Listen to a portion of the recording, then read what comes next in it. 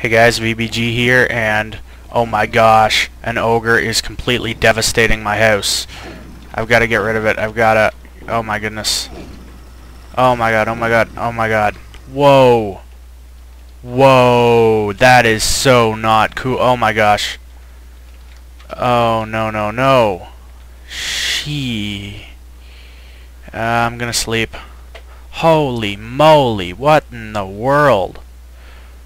That is why I made the bunker, but oh my gosh, do you see how much destruction that thing just caused to my house? Like, oh, that horse is over there trampling my crops. I'll pick up what I can, but oh my goodness. At least it didn't get my chest.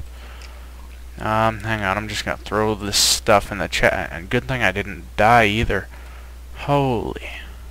Alright, so, We'll go outside and we'll look at the devastation, and it seems to be the damage is... Oh my gosh. Wow. It completely, completely destroyed my house and part of the barn. That's going to take a little while to fix. Um, Wow. Picking up what I can, but... Jeez, look at that hole. Oh dear. Well... Oh wow, creepers over there. Lots of them. Oh, and a black horse. I, I want to get that, but I don't have a saddle or a...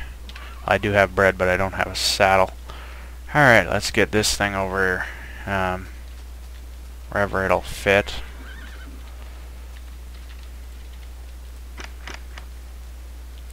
Alright, so, as we can clearly see here, ogres suck. They really do.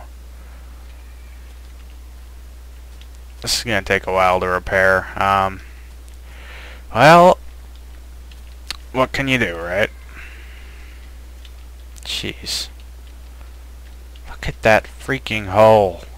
Oh my goodness.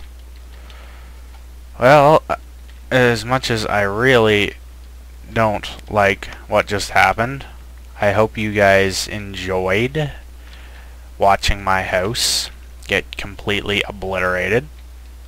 Um, not completely, but mostly.